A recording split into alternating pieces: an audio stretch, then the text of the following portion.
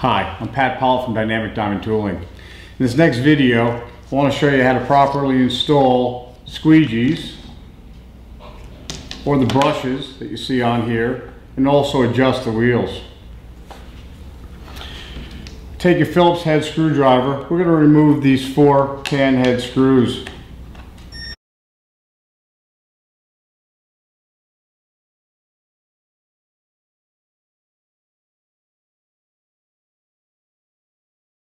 Now, if you have an Ermator vacuum, you're going to leave your squeegees right in these bottom plastic strips.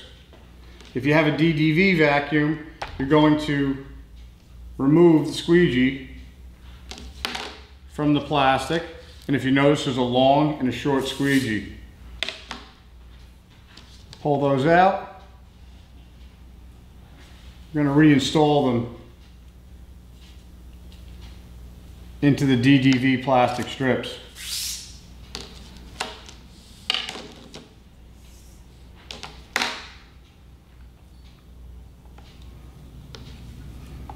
Now when working with the squeegees, if you'll notice the squeegees have a serrated side to them. One side is smooth, the other side is serrated. The uh, idea of the serrations is to make sure that dust can freely flow underneath the squeegee blade entering into the floor tool. Your serrations are always going to face out. The long squeegee is going to go up front. Shorter squeegee goes in the back. Again, the serrations will face backward. So the smooth side of the squeegee is facing in, serrated side out. We're then going to reinstall our holding clips.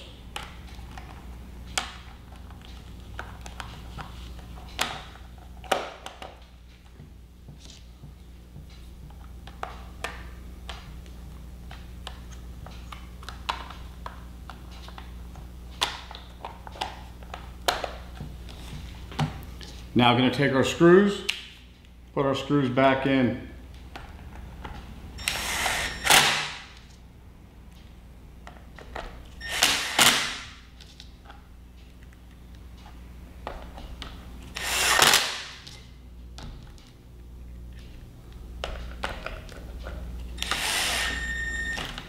Now we want to adjust the height of the wheels.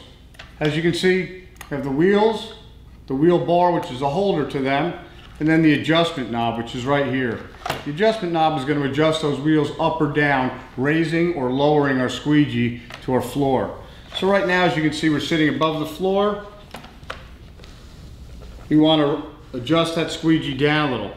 So by backing this nut out, it's going to raise the wheels up, lowering the squeegee. Now you can hear we're dragging the floor. That's right where we want to be. When you're operating the tool, you want to leave the tool as flat as possible. So you're running across the floor, keeping a good seal, making sure all the dust is being pulled into the vacuum. So when you're going forward, going backwards, you have that good seal. Keep it nice and level. If you own a vac mop, sold by Dynamic Diamond Tooling, it has two heads on it, as you can see. Heads identical to these. You adjust the wheels the exact same way. Thanks so much.